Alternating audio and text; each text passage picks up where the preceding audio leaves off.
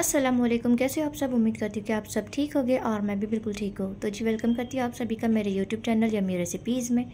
जी तो आज मैं बनाने वाली हूँ चौलाई की सब्ज़ी, जो कि बहुत ही ज़्यादा हेल्दी और टेस्टी बनकर रेडी होती है। और इसको बनाना भी ना, बहुत ही ज़्यादा सिंपल है। तो यहाँ पर मैंने एक कुकिंग पॉट लिया है, जिसमें मैंने तेल ऐड किया है। मैंने चार से पाँच चम्मच के करीब इसमें तेल ऐड किया है। तेल जैसे ही गर्म हो गया, मैंने इसमें ज़ीरा और कड़ी पत्ता ऐड किया। ज़ीरा और कड़ी पत्ता को हम थोड़ी देर इसमें ना क्रैकल होने देंगे, जिससे इसका फ्लेवर जो है वो तेल में रिलीज़ हो जाए। अब मैंने यहाँ पर दो मीडियम साइज़ की प्याज को बहुत ही बारीक बारीक सा चॉप किया है और हम वो ऐड कर देंगे हमारे तेल में। और इसी के साथ मैं इसमें दो से तीन हरी मिर्चों को मैंने कट कर कर इसमें ऐड कर देना है। हरी मिर्चों को भी हम कुछ सेकंड के लिए प्याज के साथ में फ्राई होने देंगे।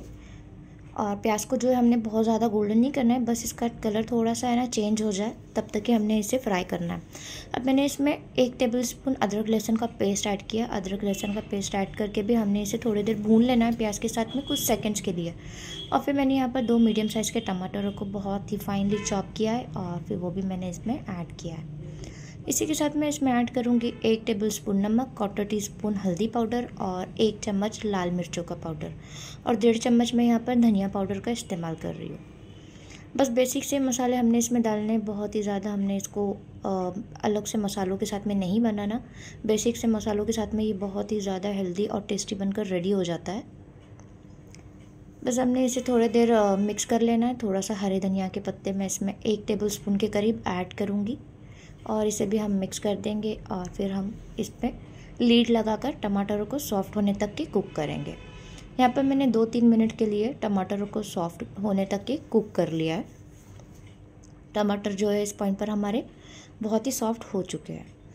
अब हम इसमें जो चौलाई है वो ऐड करेंगे। ये मैंने रात भर इसे पानी में सोख करके रखा था और मॉर्निंग में मैंने इसे कुकर में दो विसल इसके लिए है। ये बहुत ही अच्छी तरह से बॉईल हो चुकी है। अब हमने चौलाई को भी जो है सारे मसालों के साथ में हमारे मिक्स करना है बहुत ही अच्छी तरह से।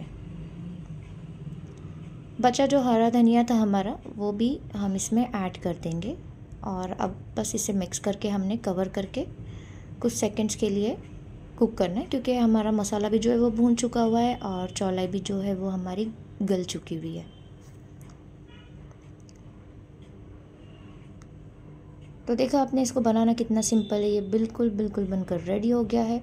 मैं गैस की फ्लेम जो है वो ऑफ़ कर चुकी हूँ मैं और मैंने इसे गार्निश करने के लिए कड़ी पत्ता इसमें ऐड किया है और हरे धनिया के पत्ते। बस इसे हम थोड़ी देर है ना कवर कर देंगे ताकि जो कड़ी पत्ते का फ्लेवर है वो हमारी सब्ज़ी में पूरी तरह से रिलीज़ हो जाए। तो देखा आपने इसको बनाना कितना सिंपल था और ये बहुत ही क्विक बनकर रेडी होता है। उम्मीद करती हूँ कि आपको आज की रेसिपी अच्छी लगी होगी। अगर अच्छी लगी तो वीडियो को लाइक कर दीजिएगा और चैनल आपने अब तक सब्सक्राइब नहीं किया है तो प्लीज़ सब्सक्राइब कर दीजिएगा।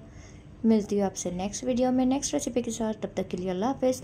अपना ढेर सारा ख्याल रखिएगा और मुझे भी अपनी दुआओं में याद रखिएगा। अल्लाह हाफिज़। Thanks for watching